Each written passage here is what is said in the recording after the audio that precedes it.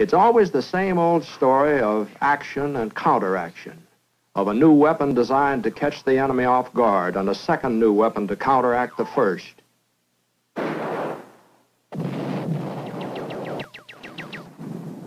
Every aircraft and every missile we have today has been developed within this pattern to prepare or to meet some new unexpected weapon.